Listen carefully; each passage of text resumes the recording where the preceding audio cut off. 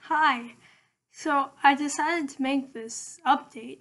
Uh, I haven't been on since what, June, July, August, sometime in the summer. Um, and I have to say, the break was nice. Um, I kind of fell out of the loop. And I'll think, you know, I think I'll take myself out of the loop. Um, falling out of the loop was nice.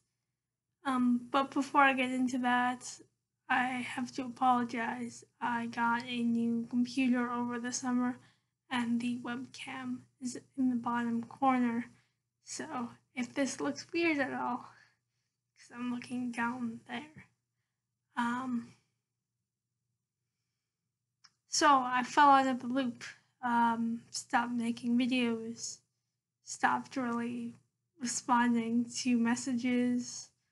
I know, hi, I see all of you um, with your messages that come through. Um, and I liked it. Um, I've said in the past that I never wanted cerebral palsy to be the focus of my life. Um,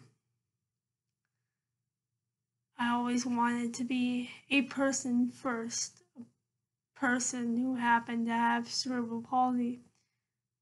And I feel with this channel and then having to talk about cerebral palsy week after week and responding to messages, there was a shift and cerebral palsy became more of a priority in my life.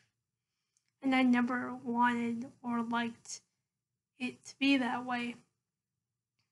Um, and if I'm to be honest, I think it it got really draining, but not in a direct way.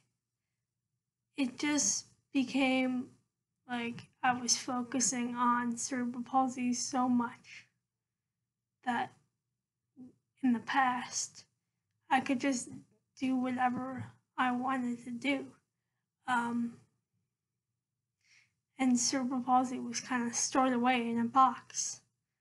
But it seemed like after having week after week, cerebral palsy was on my mind. It was like everything I did, I was aware of how cerebral palsy impacted certain activities or work or whatever I had to do. So, in that sense, it just got draining, and I think it, it took away from all the other stuff I needed and wanted to do um, with my time.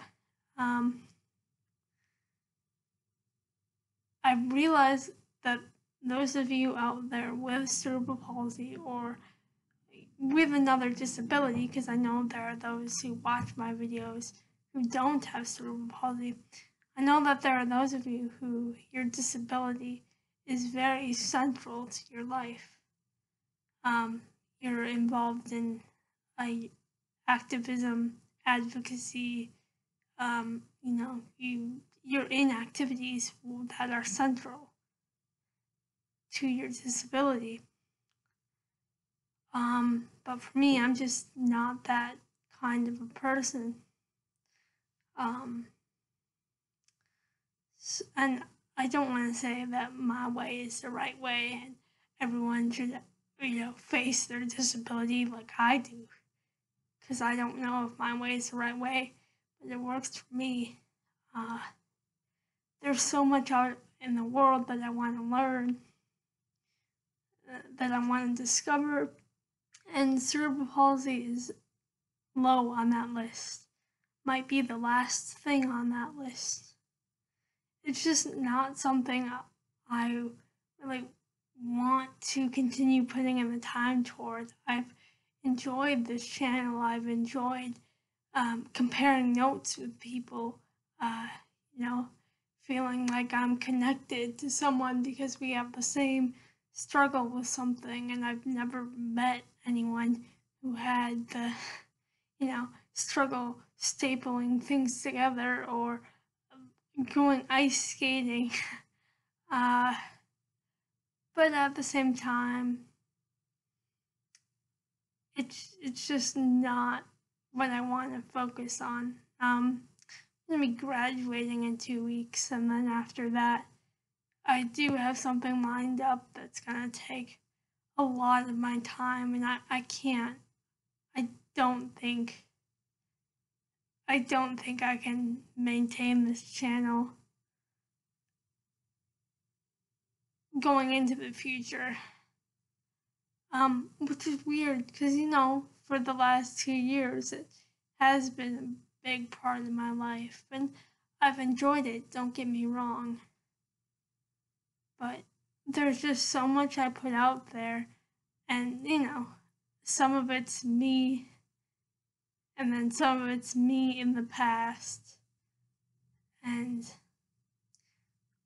I think I'll I'll keep it up, but I I think the future is gonna be bare in terms of CP videos from me. Um, I yeah, this is just turning into like some uh rather sad thing, even my voice. But um, with that, uh, if you want, I'll leave your comments below. Um, you know, I'll be happy to field them. But like I said, I don't, I don't think this will last much longer. I don't think I can maintain it going into the future. Um, so goodbye. It's it's been great.